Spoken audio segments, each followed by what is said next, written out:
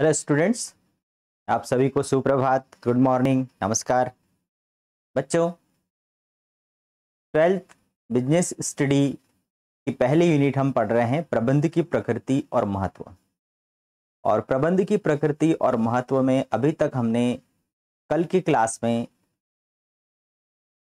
बहुत सारी चीज़ें हमने देखी। अभी तक हम प्रबंध का आशय, उसकी परिभाषा, उसका महत्व, उद्देश्य इनके बारे में हम समझ चुके हैं। और कल की क्लास में मैंने आप लोगों को प्रबंध के प्रमुख कार्य और सहायक कार्य, इन दोनों के बारे में विस्तार पूर्वक बताया। कि प्रबंध जो भी कार्य करता है तो वो कितने प्रकार के होते हैं? तो वो दो प्रकार के उसके कार्य हैं, प्रमुख कार्य और दूसरे सहायक कार्य। तो प्रमुख कार्य कौन कौन से हैं? वो कल मैंने बताया था, नियोजन, संगठन, नियुक्तिकरण, निर्देशन और नियंत्रण। ये पाँच प्रमुख कार्य होते हैं। और उसके बाद में सहायक कार्य होते हैं, जैसे शोध कार्य है, नव प्रवर्तन है, फिर प्रतिनिधित्व है, ऐसे जो उसके सहायक कार्य होते हैं। आज की क्लास में हम देखने वाले हैं कि प्रबंध, प्रशासन और संगठन, इनमें क्या अंतर है? आपने प्रबंध शब्द भी सुना है, प्रशासन शब्द भी सुना है और संगठन शब्द भी सुना है। लेकिन इन तीनों शब्दों में क्या अर्थ है? इन तीनों का क्या मीनिंग है? आज हम उसके बारे में भी देखने वाले हैं। तो आप सभी का वेलकम है। स्टार्ट करते हैं हमारी क्लास ठीक है?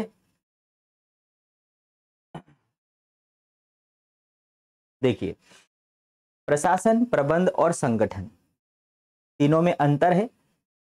पहला कार्य के आधार पर हम देखेंगे तीनों में क्या अंतर है कार्य के आधार पर। प्रशासन क्या कार्य करता है? प्रशासन उपक्रम के उद्देश्यों तथा नीतियों को निर्धारित करता है। उपक्रम मतलब व्यापार करने वाला सं, जो संस्था है वो उपक्रम कहलाती है। तो प्रशासन क्या करता है? उपक्रम के उद्देश्यों तथा नीतियों का निर्धारण करना। उद्देश्य और नीतियों का निर्धारण करना यह प्रशासन का काम होता है। प्रबंध का कार्य देख लेते हैं। प्रबंध अब क्या करता है? जो लक्ष्य निर्धारित हैं निर्धारित लक्ष्यों की पूर्ति हेतु संगठन का नेतृत्व तथा मार्गदर्शन करता है।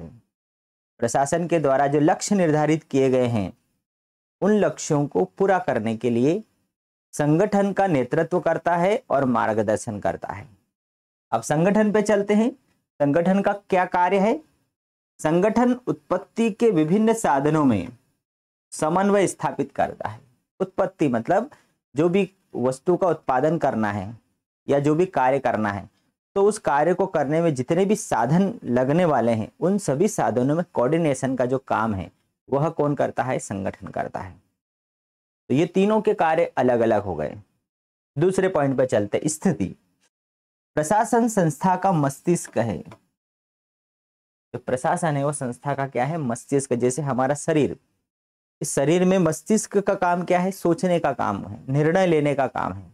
इसी प्रकार से प्रशासन का काम एक उपक्रम के अंदर प्रशासन का काम क्या है? सोचना, निर्णय लेना, नीतियों का निर्धारण करना, उद्देश्यों का निर्धारण करना।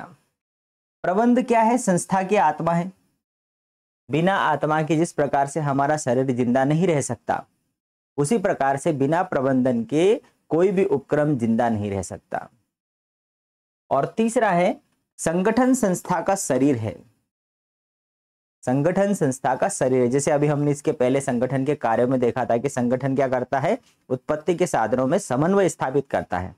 तो जो भी हम कार्य करते हैं तो कार्य में हमारा पूरा शरीर लगा है।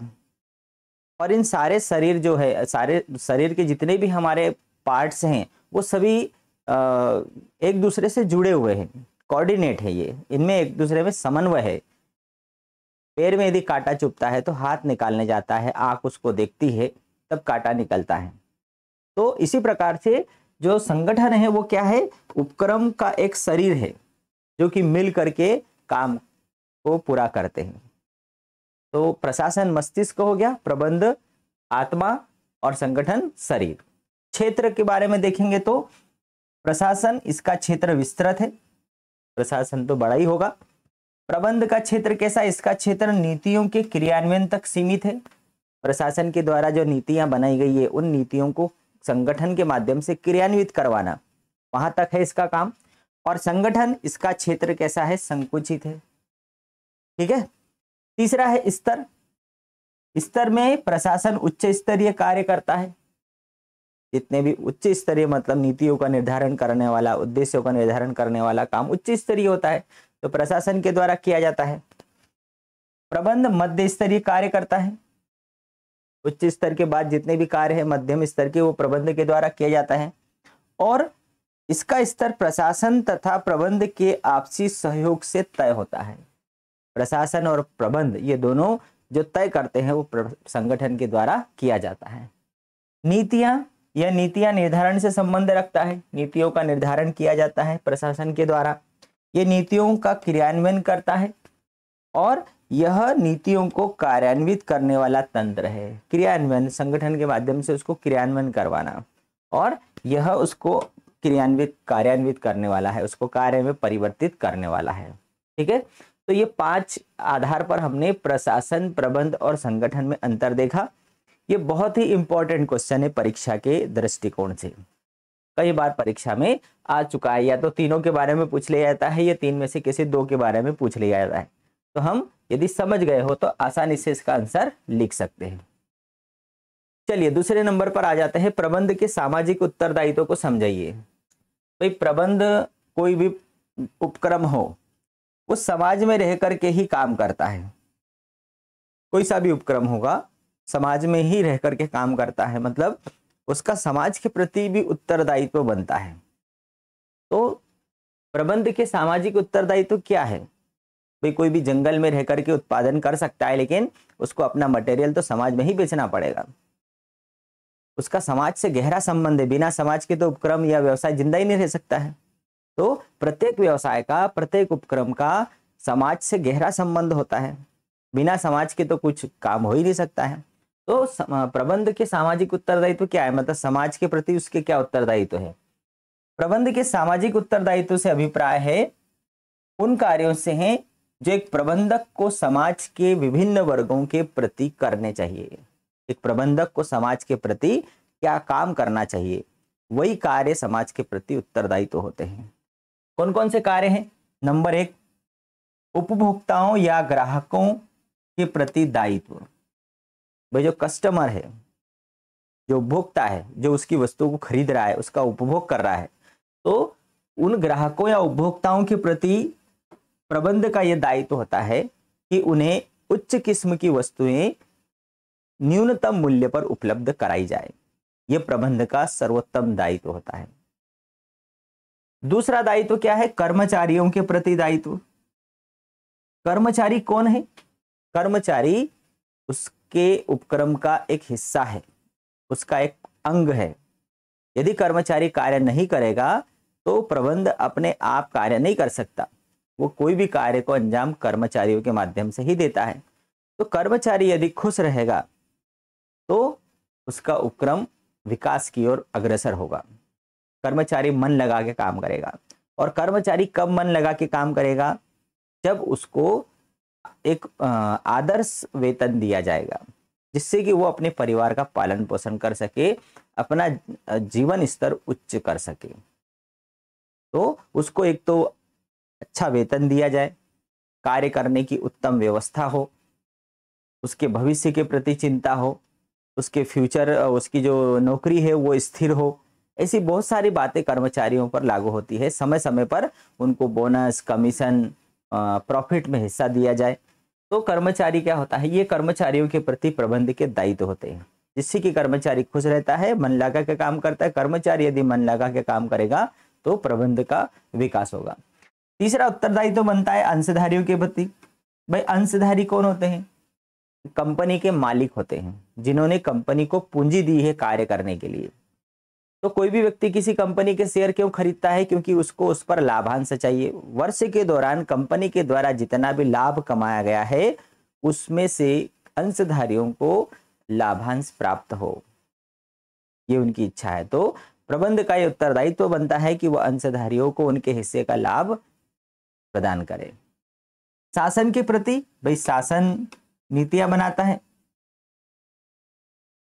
सरकार के प्रति या शासन के प्रति प्रबंध का ये उत्तरदायित्व तो बनता है कि उपक्र वह सरकार के द्वारा बनाए गए नियमों का पालन करे और दूसरा, सरकार को समय समय पर टैक्स भरे। ये दो ही महत्वपूर्ण कार्य है। सरकार के द्वारा बनाए गए नियमों का पालन किया जाए और दूसरा, समय पर टैक्स का भुगतान किया जाए। फिर है पूर्तिकर्ताओं के प्रति। जो भी उपक्रम है उसमें कोई से भी जब वस्तु बनाई जा रही हो तो पूर्तिकर्ता मतलब थोक व्यापारी से या रॉ मटेरियल कहीं से खरीदी जा, खरीदा जाता है, उनसे वो सप्लाई किया जाता है तो वो पूर्ति करने वाले हैं। तो पूर्तिकर्ताओं के प्रति प्रबंधक का ये दायित्व तो है कि उनको समय पर उनका पैसे का भुगतान किया जाए, आपने माल खरीद लिया और उनको आप भुगतान यदि समय पर नहीं करेंगे तो अगले माल की पूर्ति वो समय पर आपको नहीं करने वाले और इससे आपका काम प्रभावित होगा। तो आप समय पर जैसे ही आपके पास पैसा आया, आप उनका भुगतान कर दे, ताकि वो आपको अगली जो पूर्ति वो आसानी से कर सके। स्वयं के प्रति क्या उत्तरदायित्व तो है भाई, इतनी मगजमारी हम किसके लिए कर रहे हैं? स्वयं के प्रति लाभ कमाने के लिए, कोई भी व्यवसाय लाभ कमाने के लिए। तो यदि लाभ कमाओगे, तभी तो अपने व्यवसाय को ज़िंदा रख पाओगे। तो स्वयं के प्रति ये उत्तरदायित्व है कि पर्याप्त लाभ, पर्याप्त मात्रा में लाभ कमाया जाए, जिससे कि व्यवसाय का विकास किया जा सके और भविष्य में खतरों से लड़ा जा सके। ऋणदाताओं के प्रति, जिन ऋणदाताओं से ऋण लिया है, उनका समय पर भुगतान किया जाए। प्रबंधकों के प्रति दायित्व, प्रबंधकों को भी उचित मार्गदर्शन दिया जाए। समय समय पर उनकी जो समस्या है, उनको दूर किया जाए। राष्ट्र के प्रति दायित्व, भाई राष्ट्र मतलब क्या है? हम सभी राष्ट्रीय, राष्ट्र मतलब देश के अंदर रहने वाला जो व्यक्ति है उसके कार्यों से राष्ट्र प्रभावित होता है, उसके कार्यों से ही राष्ट्र का नाम होता है। तो यदि हमारा व्यवसाय, हमारा व्यापार अच्छा विकास करेगा, डेवलपमेंट करेगा तो राष्ट्र का भी विकास होगा। इसका मतलब कि राष्ट्र के प्रति ये हमारा दायित्व होता है कि हम हमारे व्यापार को और उच्च स्तर तक बढ़ाएँ। तो ये सारे समाज के प्रति, ये सभी समाज के हिस्से हैं ये। ये सभी लोग समाज में रहते हैं। उपभोक्ता हो गया, कर्मचारी हो गया, अंशधारी हो गया, शासन हो गया पूर्तिकर्ता स्वयं, ऋणदाता, प्रबंधक, राष्ट्र, ये सभी समाज के अंग है। सामाजिक उत्तरदायित्व तो मतलब समाज के प्रति ये उत्तरदायित्व तो बनता है प्रबंध का। ठीक है? यदि ये पाँच नंबर में आए तो भी आप इसका आंसर विस्तार पूर्वक लिख सकते हैं। चलिए, अब हमारे सामने एक नया पॉइंट आ रहा है। प्रबंध समन्वय से रिलेटेड आ रहा है। कि समन्वय से आप क्या समझते हो? समन्वय मतलब कोऑर्डिनेशन। समन्वय से आप क्या समझते हो? कोऑर्डिनेशन अभी मैंने बताया था, संगठन, जैसे हमारा शरीर, समन्वय का सबसे सर्वोत्तम उदाहरण है। जैसे हमारे शरीर में अलग अलग अंग है, हाथ है, पैर है, मुँह है, कान है, नाक है, आँख है, ये सभी जो हैं, ये अलग अलग पार्ट्स हैं, जो कि अलग अलग काम करते हैं, लेकिन ये सब एक दूसरे से जुड़े हुए हैं, एक दूसरे से रिलेटेड है ये। बिना कोऑर्डिनेशन के ये कोई काम नहीं कर सकते। इसी प्रकार से प्रबंध के जो कार्य हैं, नियोजन, संगठन, नियुक्तिकरण, निर्देशन, नियंत्रण, ये सभी कार्य जो हैं, इन सभी कार्यों में समन्वय शामिल है। ये सभी कार्यों को जोड़ने वाला समन्वय है। बिना कोऑर्डिनेशन के, जैसे एक कार्य दूसरे से रिलेटेड है, नियोजन का कार्य जब तक नहीं होगा, संगठन का कार्य नहीं किया जा सकता। संगठन का कार्य पूरा नहीं होगा, तब तक नियुक्ति का कार्य नहीं किया जा सकता। मतलब ये सभी कार्य एक दूसरे पर डिपेंडेड है मतलब एक दूसरे से कोऑर्डिनेट है। मतलब इनके बीच में समन्वय एक महत्वपूर्ण कार्य है। तो समन्वय भी प्रमुख कार्य है, लेकिन समन्वय को हमने प्रमुख कार्यों में नहीं गिना। क्यों? क्योंकि समन्वय तो इन प्रबंध का सार है, उसका निचोड़ है, वो हर एक कार्य में शामिल है। चलिए देखते हैं। समन्वय प्रबंध का एक महत्वपूर्ण कार्य है समन्वय का शाब्दिक अर्थ है आपसी तालमेल। समन्वय को यदि हम शब्द, समन्वय शब्द का अर्थ निकालें तो उसका मतलब होता है आपसी तालमेल। अर्थात व्यवसाय की विभिन्न गतिविधियों व्यवसाय में होने वाली जो अलग अलग प्रकार की जितनी भी एक्टिविटी है, काम जो होते हैं, गतिविधियाँ होती हैं, जैसे क्रय करना, विक्रय करना, उत्पादन करना, वित्त की व्यवस्था करना, कर्मचारियों के संबंध में कार्य, ये सभी व्यवसाय में होने वाली अलग विभिन्न गतिविधियाँ हैं। इन व्यवसाय की विभिन्न गतिविधियों में या उनकी क्रियाओं के मध्य सामंजस्य स्थापित करना। क्रय, विक्रय, उत्पादन, वित्त, कर्मचारी से संबंधित जितनी भी गतिविधियाँ होती हैं, इन सभी गतिविधियों में सामंजस्य स्थापित करने का काम किसका होता है? समन्वय का होता है। जिससे उपक्रम के उद्देश्यों को आसानी से प्राप्त किया जा सके।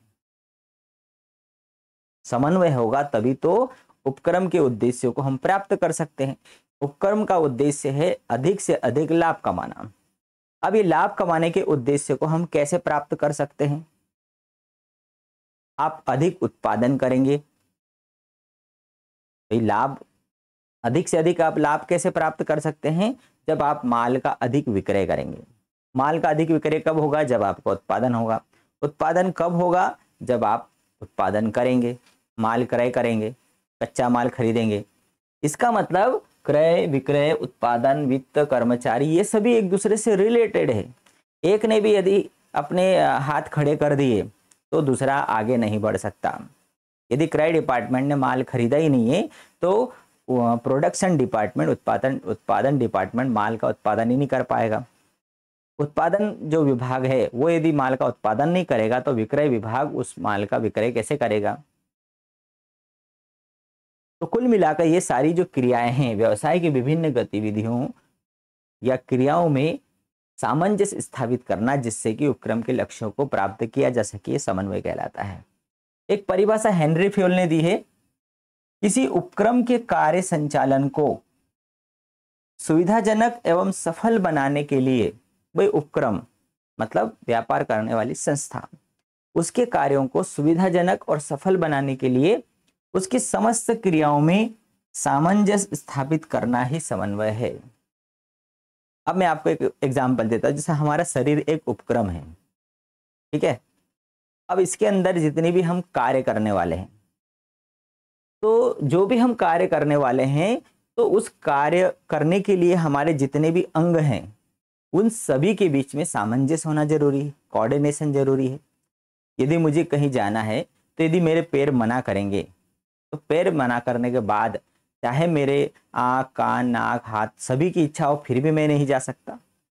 और यदि पैरों की इच्छा होगी जाने की, उसके बावजूद यदि दूसरे अंग यदि सहयोग नहीं करेंगे तो मैं नहीं जा सकता। इसका मतलब सभी का कोऑर्डिनेशन ज़रूरी है। तो किसी उपक्रम के कार्य, संचालन को सुविधाजनक और सफल बनाने के लिए उसकी समस्त क्रियाओं में, उसकी समस्त क्रियाओं में सामंजस्य स्थापित करना ही समन्वय है। समस्त क्रियाओं में कोऑर्डिनेशन ज़रूरी होता है, वही समन्वय कहलाता है। विशेषताएँ देख लेते समन्वय की। सबसे पहले विशेषता है समन्वय। प्रबंध की एक सतत प्रक्रिया है। इसका मतलब यह है कि समन्वय कहाँ शुरू होता है? तो समन्वय का जो, समन्वय की शुरुआत नियोजन से ही हो जाती है और नियंत्रण तक चलती है। नियोजन में भी समन्वय है, संगठन में भी समन्वय है नियुक्तिकरण में भी समन्वय है, निर्देशन में भी समन्वय है और नियंत्रण में भी समन्वय इन सभी कार्यों के अंदर समन्वय समाहित है। इसका मतलब समन्वय प्रबंध की एक सतत प्रक्रिया है, जो कि निरंतर चलती रहती है। बिना कोऑर्डिनेशन का, ऐसा नहीं कि बटन दबाई और समन्वय शुरू हुआ, वो सतत चलता रहता है। दूसरा है, समन्वय विभिन्न क्रियाओं में एकता सुनिश्चित करता है। समन्वय का काम ही है विभिन्न कार्यों को जोड़ना उनमें एकता स्थापित करना जिससे कि एक दूसरे को जैसे वो एक रिले रेस होती है ना आप लोगों ने देखा होगा। रिले रेस में एक बच, एक दौड़ता है हाथ में रिंग लेकर के और फिर जो अगले थोड़ी दूरी पर जो खड़ा रहता है वो दूसरे को देता है दूसरा तीसरे को देता है तीसरा चौथे को देता है और लास्ट में जो सबसे पहले पहुँचता है वो विनर होता है। तो एक पहले और दूसरे वाले के बीच में यदि सही कोऑर्डिनेशन होगा तो वो टीम विनर हो सकती है। कोऑर्डिनेशन ज़रूरी, एक दूसरे को समझना ज़रूरी है। यदि पहला दूसरे को नहीं देगा, दूसरा तीसरे को नहीं देगा तो काम वो कभी भी मैच को नहीं जीत सकते वो। तो यहाँ पर यही बात है कि समन्वय क्या करता है? विभिन्न क्रियाओं में एकता एकता मतलब उनको एक ही विचारों से जोड़ने का काम करता है। तीसरा है, समन्वय पूर्व निर्धारित लक्ष्यों की प्राप्ति के लिए किया जाता है। भाई प्रबंध का काम ही है पूर्व निर्धारण करना। प्रबंध में सबसे पहले लक्ष्यों का निर्धारण किया जाता है तो समन्वय उसी का एक हिस्सा है। समन्वय एक सर्वव्यापक कार्य है मतलब सभी कार्यों में फैला हुआ है। समन्वय विभिन्न क्रियाओं में आपसी सामंजस्य, आपसी समझ पैदा करता है। ये सभी क्या है, हो गई उसकी विशेषताएँ। अब एक महत्वपूर्ण प्रश्न आता है, जो कि कई बार परीक्षाओं में पूछा गया है। ठीक है? ये प्रश्न के बारे में बच्चों को कंफ्यूजन भी रहता है, उनको आंसर नहीं मिलता है। इसलिए मैं इसका आंसर बहुत ही आसान शब्दों में आप लोगों के लिए बना करके लाया हूँ। समन्वय प्रबंध का सार है इस कथन को स्पष्ट कीजिए। इसका आंसर आपको बहुत कम मिलेगा। है ना? ये मैंने बुक में से उसको बनाया है। समन्वय प्रबंध का सार है मतलब प्रबंध का निचोड़ है। सार मतलब निचोड़। इस कथन को स्पष्ट करना है। देखिए, बिना समन्वय के किसी भी कार्य को सफल नहीं बनाया जा सकता है। पहली लाइन, भाई कोई भी आपको कार्य करना है तो बिना समन्वय के आप उस कार्य को नहीं कर सकते। इसका मतलब ये हुआ। प्रबंध के अन्य कार्य, जैसे नियोजन, संगठन, नियुक्तिकरण, निर्देशन एवं नियंत्रण, आदि कार्यों से समन्वय की प्रकृति भिन्न है। प्रबंध के जो प्रमुख कार्य, हमने जो पाँच कार्य देखे, उनसे समन्वय अलग है। कैसे अलग है? इसे प्रबंध का स्वतंत्र कार्य न मानते हुए उपरोक्त कार्यों की सफलता से ही समन्वय की मौजूदगी दिखाई देगी। हमने प्रबंध के प्रमुख कार्यों में पाँच के बाद में छठवा कार्य समन्वय क्यों नहीं जोड़ा? क्योंकि ये इनसे अलग है। कैसा अलग है? नियोजन का कार्य सफल हो गया, फिर संगठन का कार्य शुरू हुआ, संगठन का कार्य कंप्लीट हो गया, नियुक्तिकरण, निर्देशन, नियंत्रण का, ये पाँचों के कार्य जहाँ सफल हो जाएँगे तो हम ये मान लेंगे कि समन्वय का कार्य हो गया। वहाँ हमें दिखाई देगा कि हाँ समन्वय है। भाई, कोई टीम यदि जीत गई है, इसका मतलब कि वो टीम वर्क उन्होंने किया। मतलब उनके बीच में अच्छा कोऑर्डिनेशन था तो समन्वय तो वहीं आ गया। हमें दिख गया कि उनके बीच में कोऑर्डिनेशन है। समन्वय के महत्व को प्रतिपादित करते हुए कुंटज और ओडोनेल ने कहा है, समन्वय प्रबंध का एक पृथक कार्य न होते हुए उसका सार है। तो यदि प्रबंध की जो प्रक्रिया है, ये प्रक्रिया यदि पूरी हो गई, इसका मतलब कि समन्वय है। मतलब वो समन्वय दिखने लग गया। तो कुंटा जो ओडोनेल क्या बोलता है कि समन्वय प्रबंध का एक पृथक कार्य न होते हुए उसका सार है। इस कथन को हम निम्न बिंदुओं से भी समझ सकते हैं। सबसे पहला, संगठन में जब पहला व्यक्ति अपना कार्य पूर्ण करता है, तभी दूसरे व्यक्ति का कार्य प्रारंभ होता है। अर्थात यहाँ पर पहले और दूसरे के बीच समन्वय अनिवार्य है। अभी मैंने रिले रिले रिले रेस वाला काम बताया था कि पहला व्यक्ति दूसरे व्यक्ति को सौंपता है। तो संगठन मतलब व्यक्तियों का समूह। किसी कार्य को करने के लिए जो व्यक्तियों का समूह इकट्ठा हुआ है तो एक व्यक्ति जब अपना पहला कार्य पूर्ण करके दूसरे व्यक्ति को देगा, तभी तो दूसरा व्यक्ति कार्य को आगे बढ़ाएगा। तो एक व्यक्ति कार्य को पूर्ण करता है, तभी दूसरे व्यक्ति का कार्य प्रारंभ होता है। अर्थात पहले और दूसरे के बीच में समन्वय अनिवार्य है। दूसरी बात, निर्देश ऊपर से नीचे की ओर भेजे जाते हैं। निर्देश अंतिम छोर तक पूर्ण रूपेण तभी पहुँच सकता है, जब सभी व्यक्तियों में आपस में तालमेल होगा। जो भी निर्देश होते हैं, उच्च स्तर से निम्न स्तर तक आता है निर्देश। तो जितने भी चैनल है कर्मचारियों की, अधिकारियों की, प्रबंधकों की तो ऊपर से नीचे जो निर्देश आ रहा है तो इन सभी प्रबंधकों के बीच में, कर्मचारियों के बीच में तालमेल ज़रूरी है। यदि उनके बीच में तालमेल नहीं होगा, जैसे जो कड़ी होती है, चैनल होती है तो वो कड़ी एक दूसरे से जुड़ी होगी, तभी तो वो कड़ी कहलाएगी। यदि बीच में यदि वो कड़ी टूट गई, इसका मतलब वो कड़ी नहीं है, वो चैन नहीं है, श्रृंखला नहीं है। इसी प्रकार से जो संगठन है वो संगठन में बीच में यदि तालमेल नहीं होगा तो वो मैसेज जो है वो ऊपर से नीचे नहीं आएगा। इसका मतलब उनके बीच में समन्वय ज़रूरी है। तीसरा है नियंत्रण का कार्य। प्रबंध का जो अंतिम कार्य है नियंत्रण। नियंत्रण का कार्य साधनों एवं मानवीय प्रयासों से संतुलन स्थापित कर उत्पादित वस्तु की तुलना मानकों से की जाती है। भाई नियंत्रण जो प्रबंध का अंतिम कार्य है, उसका काम क्या है? कि जो योजना बनेगी, उस योजना के अनुरूप कार्य हो रहा है या नहीं, ये देखना। किसी व्यक्ति को एक निश्चित समय के लिए कार्य दे दिया गया कि आपको आधे घंटे में कार्य पूरा करना है और इस इस क्वालिटी का काम करना है। तो नियंत्रण का काम ये देखना है कि उतने निश्चित समय में उसने वो कार्य किया है या नहीं। मानकों से तुलना करना। यदि कार्य के परिणामों में विचलन आता है, भाई उसको आधे घंटे का काम दिया गया, उसने उसको पचास मिनट में किया। तो तीस की जगह पचास मिनट लिया, बीस मिनट का अंतर आ गया विचलन कहलाता है। तो कमियों का पता लगाना, कमियों को दूर करने के लिए मानवीय प्रयासों में समन्वय स्थापित किया जाता है। यदि कोई कार्य आपने डिसाइड किया कि मुझे ऐसा ऐसा कार्य करना है, उद्देश्य आपने उसका एक प्रमाप बना लिया। जैसे हमारा जब मकान बनता है तो मकान का हम नक्शा बनाते हैं। अब आप नक्शा बना करके कहीं साइड में रख नहीं देते हैं। मकान जैसे जैसे बनता जाता है तो आप उस उससे जो नक्शे से उसकी तुलना करते जाते हैं कि नक्शे के अनुरूप बन रहा है या नहीं। यही नियंत्रण है। नहीं तो मकान बनने के बाद यदि आप नक्शा देखेंगे तो उसको आप बदल नहीं सकते। जैसे जैसे हर एक स्टेप पर मकान बनते जाता है, आप उस नक्शे के अकॉर्डिंग तुलना करते जाते हैं कि हाँ नक्शा और मकान। नक्शा मतलब प्रमाप और मकान जो कहा, जहाँ कार्य हो रहा है, वो वास्तविक कार्य, इन दोनों की तुलना करते हैं। इनमें यदि कहीं अंतर आता है, वो विचलन कहलाता है। और यदि अंतर है तो उस कमी को दूर करने के लिए इंजीनियर और मकान मालिक इन दोनों के बीच में कोऑर्डिनेशन किया जाता है कि भाई ये कमी है, उस कमी को दूर किया जाए। तो कोऑर्डिनेशन यहाँ शब्द आ गया। इन दोनों के बीच यदि कोऑर्डिनेशन स्थापित होगा तो कार्य सही होगा। इसका मतलब प्रबंध जो समन्वय है वो प्रबंध का क्या है? सार है। उपरोक्त विवेचन से स्पष्ट है कि समन्वय प्रबंध के समस्त कार्यों से जुड़ा होता है। ये उपरोक्त विवेचन से हम बोल सकते हैं कि प्रबंध, जो समन्वय है, प्रबंध के सभी कार्यों से जुड़ा हुआ है। अतः कहा जा सकता है कि समन्वय प्रबंध का तार है। नियंत्रण से भी जुड़ा हुआ है। संगठन से भी जुड़ा हुआ है। नियोजन से भी जुड़ा हुआ है क्योंकि आप नियंत्रण का काम कब होगा? जब नियोजन का काम होगा। योजना नहीं होगी तो आप कैसे पता चला कि, कि आपको नियंत्रण किसका करना है?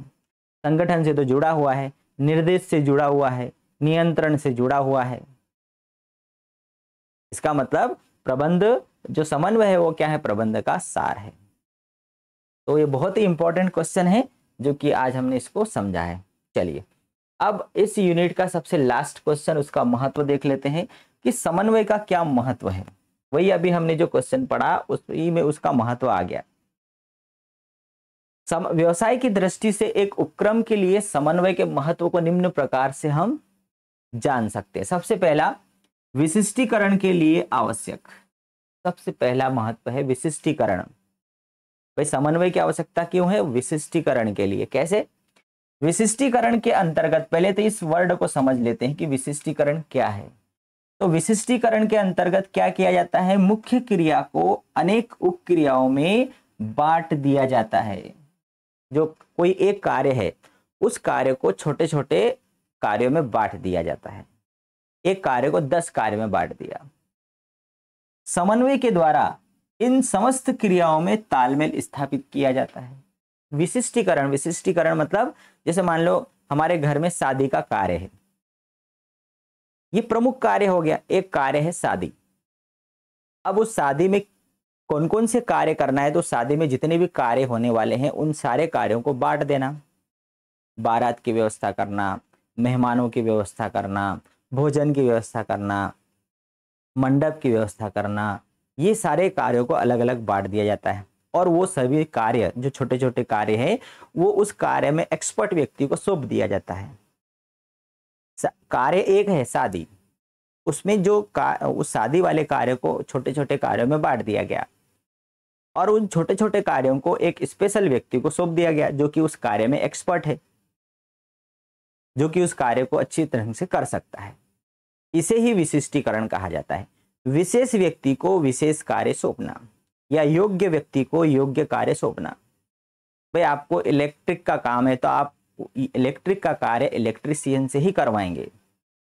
तभी वो आपका कार्य सही होगा। मतलब योग्य व्यक्ति को योग्य कार्य सौंपना। ये विशिष्टीकरण कहलाता है। अब आपने जो अलग अलग कार्य सौंपे हैं, कोई मंडप का काम कर रहा है, कोई बारात की व्यवस्था कर रहा है, कोई भोजन की व्यवस्था कर रहा है, कोई मेहमानों के अतिथियों के सत्कार की व्यवस्था कर रहा है लेकिन इन सभी के बीच में कोऑर्डिनेशन ज़रूरी है कि नहीं? सभी यदि अपना अपना भाग, भागे करेंगे तो क्या होगा? भाई, भोजन बनाने वाले को बारात वाले से कोऑर्डिनेशन रखना पड़ेगा। भोजन बनाने वाले को मेहमानों से कोऑर्डिनेशन रखना पड़ेगा। मंडप से कोऑर्डिनेशन रखना पड़ेगा कि किस समय कौन सा काम करना है। ये सभी एक दूसरे से धागे से बंधे हुए हैं। एक दूसरे से उनको जानकारी लेता रहना पड़ेगी कि भोजन कब देना है कितने बजे देना है मेहमान आ गए हैं बाराती आने वाली है आ, किसका स्वागत कब करना है ये सब अपना अपना काम करते हुए भी एक दूसरे से जुड़े हुए हैं।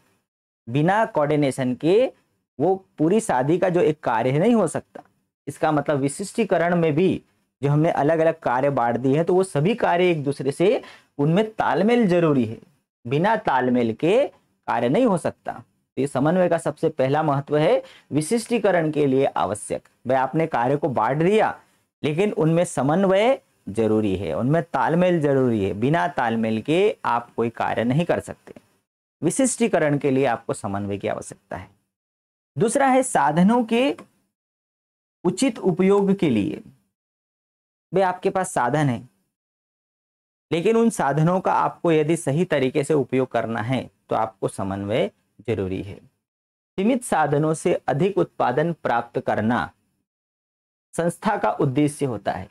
भाई, हर एक संस्था के पास पर्याप्त साधन नहीं होते, कहीं ना कहीं कमी होती है। लेकिन उन कम साधनों से ही या उन कम साधनों का उचित उपयोग करना, यही उनका उद्देश्य होता है। उत्पादन के साधनों के बीच उचित तालमेल हो, तभी कम लागत में अधिक उत्पादन प्राप्त किया जा सकता है। आपके पास जितने भी उत्पादन के साधन हैं यदि आपके पास उनमें आपसी तालमेल है तो आप कम साधनों में भी पर्याप्त उत्पादन कर सकते हैं। तीसरा है एकता स्थापित करना। बिना समन्वय के आप उन, उनके बीच में एकता स्थापित नहीं कर सकते। कर्मचारियों के मध्य उचित तालमेल से उनमें एकता संभव होती है। यदि तालमेल है मतलब उनके बीच में एकता है। और यह एकता सामूहिक प्रयास का प्रथम सूत्र है। कहीं भी समूह में यदि कार्य होगा तो उनके बीच में यूनिटी ज़रूरी है, एकता ज़रूरी है। और सामूहिक प्रयास का जो प्रथम सूत्र ही है एकता। सामूहिक प्रयास, जहाँ भी समूह है, जहाँ संगठन है, उसके बीच में एकता ज़रूरी है। यदि एकता नहीं होगी तो आपको कोई भी हरा सकता है। जैसे हाँ आप लोगों को याद होगा, हमारे देश में जो अंग्रेज़ों का 200 वर्षों तक शासन रहा उसके पीछे का कारण क्या है कि मुट्ठी भर जो अंग्रेज़ थे, वो मुट्ठी भर अंग्रेज़ों ने भारत इतने बड़े देश के ऊपर 200 वर्षों तक शासन किया। तो क्या हमारे देश में वीरों की कमी थी? क्या हमारे देश में योद्धाओं की कमी थी? 200 लोगों को हराने का साहस नहीं था क्या? हाँ लेकिन जो विदेश से जो अंग्रेज़ आए थे 200 उनके बीच में एकता थी, यूनिटी थी। और हमारे देश जो इतना बड़ा जो देश था, वो अनेक, क्या बोलेंगे, अनेक खंड में बटा हुआ था। अलग अलग टुकड़े थे। हर दस किलोमीटर, बीस किलोमीटर मीटर पर एक राजा था। और वो सब अपनी अपनी राज्य को लेकर के बैठे हुए थे। और सभी एक दूसरे से झगड़ रहे थे। मतलब उनके बीच में यूनिटी नहीं थी। एक राजा यदि अंग्रेज़ों से लड़ने जाता तो दूसरा राजा उसके अपोजिट हो जाता था। और इसी कारण से इसी जो कौन सी एक अंग्रेज़ों का नारा था, विभाजन वाला फुट डालो और शासन करो की नीति, ये उनकी सबसे बड़ी पॉलिसी थी। उन्होंने कभी भी राजाओं को एक नहीं होने दिया। और इसी कारण वो 200 वर्षों तक शासन करते रहे। 200 लोग 200 लोगों ने 200 वर्षों तक शासन किया। जबकि यदि सभी मिलकर के या फिर एक भी राजा तन मन धन से अंग्रेज़ों का सामना करता तो उनको समुद्र में उनको फेंक सकते थे। क्योंकि ब्रिटेन से इंग्लैंड से इतनी दूर से सेना यहाँ तक आने में, समुद्र उनको पार करके आने में बहुत समय लगता। कब के हरा सकते थे? लेकिन इन सभी के पीछे एक ही बात है, और वो है यूनिटी, एकता। आप कितना भी बड़ा काम कर रहे होंगे, लेकिन समूह में यदि एकता नहीं होगी, प्रथम सूत्र एकता है। यूनिटी नहीं होगी तो आप कभी भी काम को सफल नहीं कर सकते। तो एकता स्थापित करना। फिर है प्रबंधकीय कार्यों का सार। प्रबंध है, हमने पहले ही प्रश्न देख लिया कि समन्वय प्रबंध का क्या है? प्रबंध के जितने भी कार्य है, उनका निचोड़ समन्वय है। परस्पर निर्भरता। तो प्रत्येक कार्य दूसरे कार्य के ऊपर निर्भर है। प्राय संस्था में कार्य करने वाले प्रत्येक व्यक्ति की क्रियाएँ एक दूसरे पर निर्भर हो रहती है। प्रत्येक व्यक्ति की जो क्रिया है दूसरे पर डिपेंडेंट है। एक व्यक्ति के कार्य का प्रभाव दूसरे व्यक्ति के कार्य पर पड़ता है। अतः उपक्रम के सभी विभागों में आपसी समन्वय होता है। उपक्रम के सभी विभागों में आपसी समन्वय होते ही क्योंकि एक विभाग काम करेगा तभी उसका दूसरा विभाग दोनों एक दूसरे से जुड़े या जितने भी विभाग है सब एक दूसरे से रिलेटेड होते हैं। तो परस्पर निर्भरता स्थापित करने के लिए, प्रबंधकीय कार्यों के सार के रूप में एकता स्थापित करने के लिए, साधनों के उचित उपयोग के लिए और विशिष्टीकरण के लिए इन सभी के लिए समन्वय आवश्यक है, समन्वय का महत्व है। ठीक है? तो ये महत्व भी ये प्रश्न परीक्षाओं में आते हैं। ये सारे इंपॉर्टेंट इंपॉर्टेंट क्वेश्चन में लेकर के आया हूँ। समन्वय का महत्व और ये सभी आपको पीडीएफ के रूप में चौहान एकेडमी खंडवा के ऐप के ऊपर आपको मिल जाएँगे। और ये पीडीएफ पूरी बारह यूनिट के पीडीएफ आपको हंड्रेड रुपये में केवल उपलब्ध है। तो आप चौहान एकेडमी खंडवा का प्ले स्टोर से ऐप डाउनलोड कर लीजिए। और वहाँ केवल आपको हंड्रेड रुपये चुकाना होगा और आपको हर एक यूनिट के ऐसे क्वेश्चन आंसर वहाँ पर आपको अवेलेबल मिलेंगे। ठीक है? तो हमारी पहली यूनिट यहाँ पर कंप्लीट होती है। आप इन वीडियोस को बार बार देखिए। तो आप यही क्वेश्चन के आंसर आपको परीक्षाओं में लिखना है। रेडीमेड क्वेश्चन है। आप जो हम चैप्टर पढ़ने के बजाय हम सीधे सीधे क्वेश्चन का आंसर ही देख रहे हैं। ठीक है? और उसी के माध्यम से मैं आपको चैप्टर को समझाते भी जा रहा हूँ। तो आप इन वीडियो को बार बार देखिए ताकि ये पहली यूनिट हमारी कंप्लीट हो गई। कल हम, कल फिर मैं एक नया वीडियो लेकर के आऊँगा अगली यूनिट का। ठीक है? तब तक के लिए बाय। Thank you.